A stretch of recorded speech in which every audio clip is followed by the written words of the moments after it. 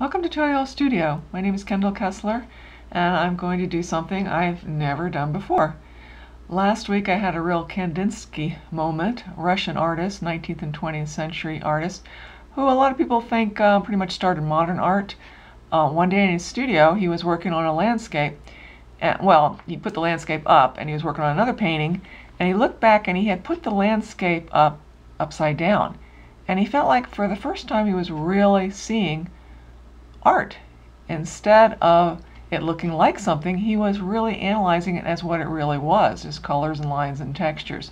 So my Kandinsky moment was I was working on one of these YouTubes and I looked down to my paper towel and I was just getting such interesting, interesting textures and colors with the way the, the uh, paint was going in as I, as I cleaned my brush. And it was picking up the pattern in the, the paper towel and also doing some other interesting things. So this time I'm actually going to work on a paper towel and just see what happens. So I'm just going to see, I'm sure the colors are going to bleed a whole lot, much more than a porous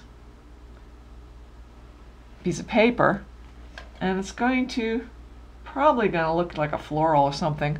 I'm not really going to worry about making it into what artists call pure art, which is what a lot of what Kandinsky did, where it's just what it looks like rather than looking like something. so you either like it or you don't like it, but you can't relate to things you like to see. Okay, actually I think I need to use more water. I was thinking I was going to bleed a lot more than this. Surprised it's not.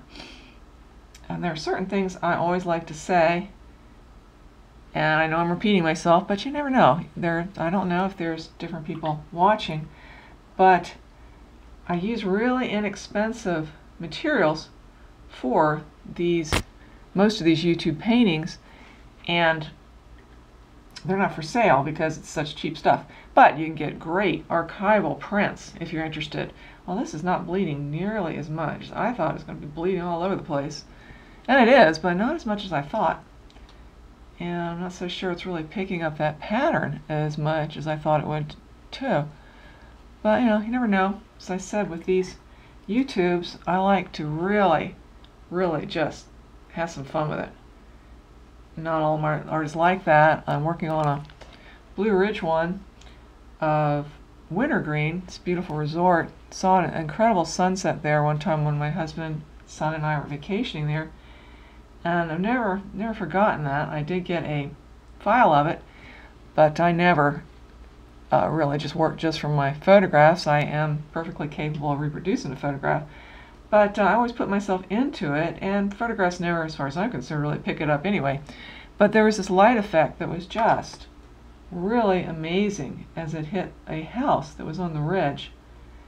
And then the shadow was so blue-green around it that I wanted to capture that in a painting. It was a beautiful sunset effect with really rose-colored light. And so for that one, yeah, I'm sticking a little more to what I was seeing and trying to capture a certain effect. But with a lot of these YouTube ones, I'm just really just playing. Well, this is not what I thought was going to happen at all. I thought it would bleed so much more. But I thought it would be really interesting to do something completely different. Uh, I don't know. I have my hair dryer here, I might go back into again and see if it bleeds again. But this is not what I expected to happen. It's not what I saw either. not what I saw when I had my Kandinsky moment. But it's, it's coming along in a pretty nice, what we call non-objective or non-figurative painting. I think it's interesting to look at, but um, just expected a much different effect it isn't happening. And I'm not really, it's not really turning into one of my suggestions paintings. If you've followed my work, you know sometimes I just throw the paint around and see if something comes up and then I go with it. I'm not, I'm not really seeing anything in it either. So this is disappointing. It really is. I thought I was going to really get something very intricate and very different. And although I don't hate it or anything, it's not what I expect it to be at all. oh well. It's certainly not awful. But I really expected to pick up that pattern more, and that's not what happened at all. The paint is, of course, bleeding, but um, the pattern isn't really picking up. So I might just go back into it and just kind of follow those sections with a small brush, very small brush, and see what happens. I don't know if anything will or not. I don't know if I should have used more water or what, but um, really not getting what I thought I'd be getting. So I go back into those sections and pull them out a little bit, but I'm kind of forcing it. But oh well, why not? So I didn't want that to happen. I didn't want to steal the designer's pattern or anything, but I uh, just wanted to use it in this painting. And I'm not really getting that, so I'm going to kind of bring it out anyway. Well, this is nice. The good thing is, the really good thing is that it's still wet enough that it's still bleeding into it. So that's great. I can hardly find them now. Because um, either I used too much paint, not enough water, but they kind of disappeared. Uh, I am starting to get it back a little bit, and now it's looking a lot more interesting to me. I always like my artwork to be very, very complex. Um, I don't like artwork that just has a few shapes and all. Uh, minimalism, which was real popular in the 70s, where you got a couple shapes and that's about it. That's just not for me. Um, I do like to work in all levels, though. This probably is going to be just turn out to be a, a non-objective or non-figurative painting. Mostly prefer to try to capture the incredible beauty in this gorgeous mountain region that I live in. That's the most important thing to me. And it can't really be caught. I know I said this ad nauseum, but light is always changing. And it's just not anything you can really capture, as Monet said, but you can get what he said, naive impression you've watched these, you've heard me say that a lot of times, but uh, it, it is really frustrating to me that a lot of people think you can really capture what is out there, and you really can't. Not with a camera either. You can't get the intensity of light with a camera, but you can get a great shadow, and it is certainly a wonderful art form. Well, ah, not what I expected. I'm kind of just going with it the way I would a non-objective painting and just kind of reacting to the colors and letting things happen, but not what I expected to happen. I really thought that that pattern would come out so strongly and then I could just work with it. Could be that I just didn't use enough water. Uh, maybe I should have used a bigger brush. But I'm starting to get some nice areas into it. Um, there's certain areas I'm not real crazy about. I think I'll get a bigger brush and work on those, and then I think I'm just going to say, it was an interesting idea. Not that it's not, I don't think it's bad art or anything, but uh, it's not what I expected at all. These two shapes through here are kind of bugging me. I don't think they fit in very well. I know, that may sound really strange. I really think you have to work with art, really do what we do to start to understand that, which is why I had my students at Radford University do that. So I'm not going to be able to explain this unless I make them do it. And I did. Over the whole semester, I went through all the decisions, the decision-making process that goes in any kind of artwork. Doesn't matter where it looks just like something that you see or it is this. It's still a matter of a lot of decisions of an arrangement by an artist and if you start doing that, if you start getting involved in what artists do, you'll start to see that, trust me. You may work on drawing skills, which is very important, but eventually you're going to start to see it as, an, as a creation, as an arrangement. Don't think it has enough pink. And I think it would be really nice to get some more pink in this particular composition. I just don't like the way that's blotched right through there. Now that it's getting a more of a circular pattern, I think it's much more interesting. I think they just kind of stopped those two blotches right through here. And I think I need to extend them out more and get a circular going, a circular pattern going. It's one thing artists know that really works really well when you are designing the space or the composition is circles really help. because it makes your eye go around and around and keep getting involved in the space. Well, I must say I'm starting to really like it. It's not what I expected to get at all, but I'm starting to like it. And what's really great is the paper towel is still is still taking the water. So now I am starting to see a few things. Starting to see, you know, flowers. I've noticed when I do suggestions paintings, lots of times you start to see flowers, um, lots of times fish, birds, lots of these things just tend to show up. Well, even though not what I wanted, I actually am starting to like it.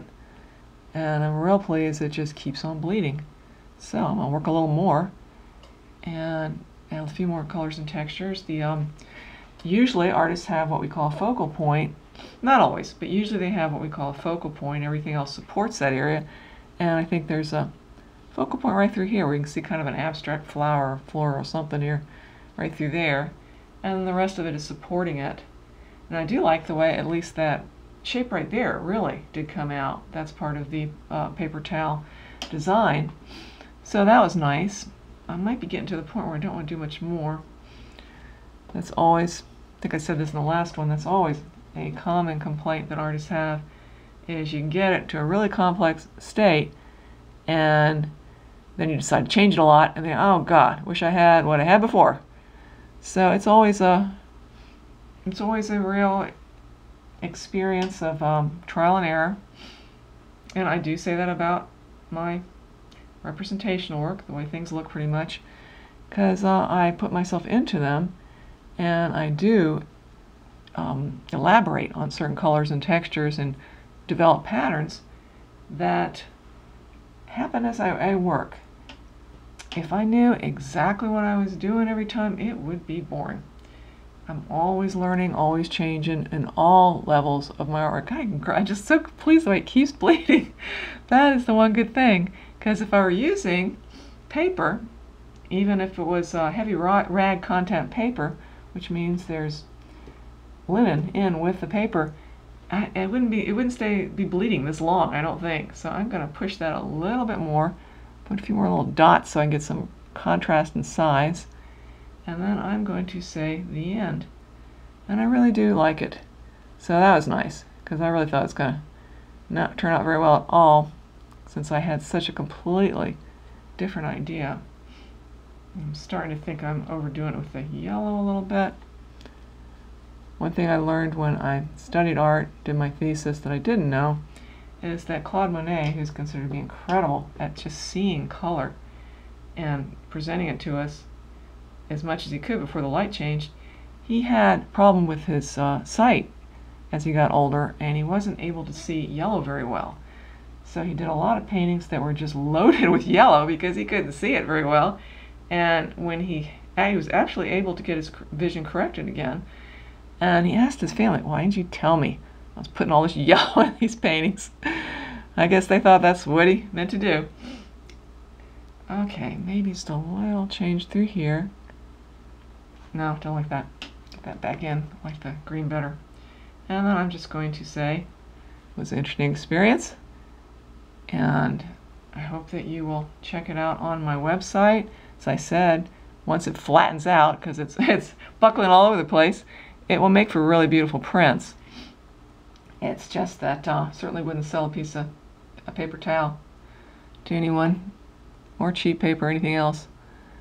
Um, also been doing some Skyline Beauty paintings if you've been following me, and yeah, those are on those are good paint and good and on canvas. They are certainly the originals are available for sale. Well, I can't think of anything else I really want to do except for maybe a tiny bit more red. See if it's going to keep bleeding, I hope. I don't know. Yeah, it's still bleeding a little bit. Just a little more red through here, I think.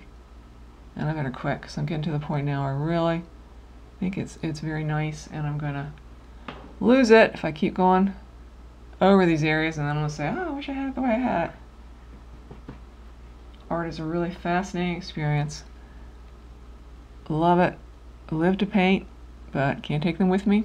So I work hard to promote it and sell it. Don't think I'm going to go back into that one after the camera's off. So what you're seeing pretty much. I have to alter the colors because it never comes out exactly right on the camera or YouTube. What you're seeing is pretty much the way it's going to be. It will be available for prints, and of course, there are other links in the description to my artwork. Thank you for watching.